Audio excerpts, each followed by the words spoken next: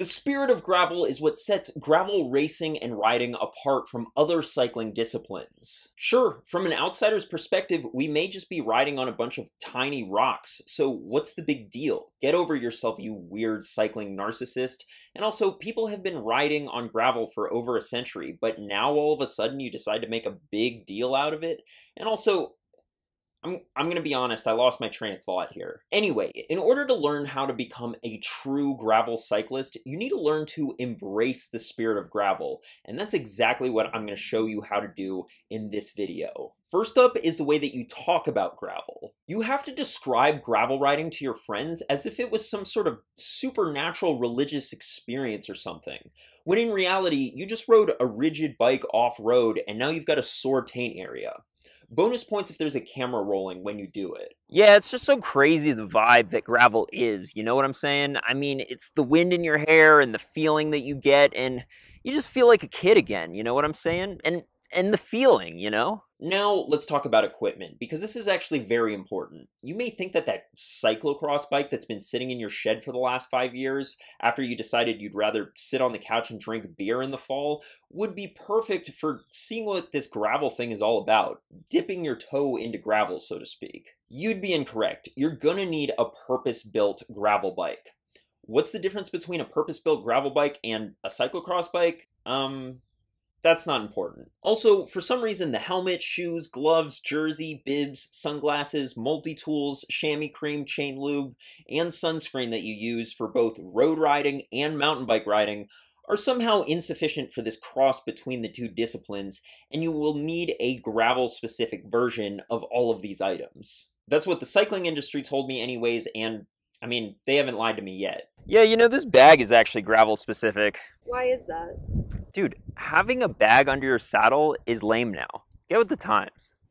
Now, some of you may have even higher ambitions, and not only do you want to ride gravel or race gravel, but you actually want to go pro in graveling. Well, you're in good company because there are plenty of former World Tour pros who weren't quite fast enough to cut it in the World Tour, as well as riders who were never fast enough to make it to the World Tour in the first place, as well as riders who aren't even really fast, but they just have a lot of Instagram followers who are now paying their bills by riding these Franken bikes through the neighborhoods of some poor, confused farmer. Let's get back on topic though. When you're a gravel pro, it's important to not take racing too seriously, even though in reality this is the most seriously you've ever taken anything. Somewhat counterintuitively, whining about the spirit of gravel being broken is a good way of doing this, because nothing says I don't care like caring way too much about rules that were never even written in the first place. For example, using aero bars is super uncool and is a sign that you're taking it too seriously.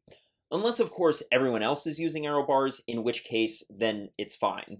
Honestly, I can't make my mind up about this whole aero bar thing, but I think that what's important is that you choose a side and then be a dick about it.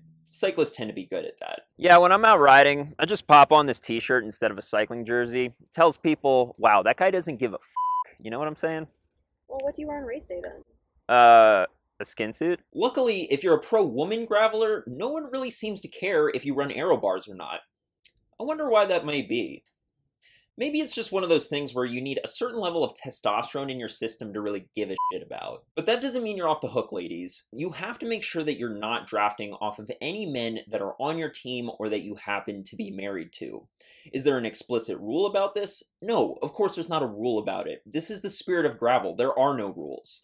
But there are uh, look, if you break this rule, it's not like you're going to get disqualified or something, but people are going to get super pissed on social media. And if you're a gravel pro, that's actually worse. If I haven't made this clear already, being good at gravel is only 20% about how fast you are. The other 80% is about likes, followers, and subscribers.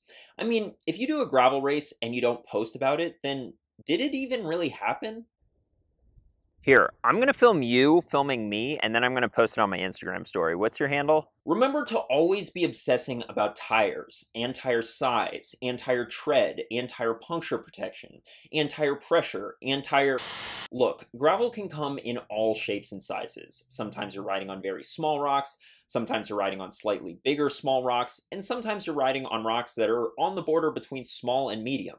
In gravel, we call this chunky, but that's not important. What is important is that you have a tire for every possible condition and that you overthink which tire to use for hours a day. Once you've made your tire decision, be sure to criticize the tire decisions of the riders that you happen to be riding or racing with. A good trick that works well is to look straight at their tire, give it a good squeeze, and then just give her the old eh, good luck with that one. Yeah, you know, this community, it's just so crazy. Like, gravel just brings us all together, you know what I'm saying? And just the freedom and the vibe. It's just really something special. Hey, what about the mustache? Does that have anything to do with the spirit of gravel? I don't know what you're talking about. Yeah, you know, this gra. Uh, I think we need new tape. Thanks for watching. If there are any rules of gravel that I missed, be sure to leave them down in the comment section below. If you enjoyed this video, be sure to give it a like, subscribe, and share this video with your gravel-loving friends. I'll see you in the next one.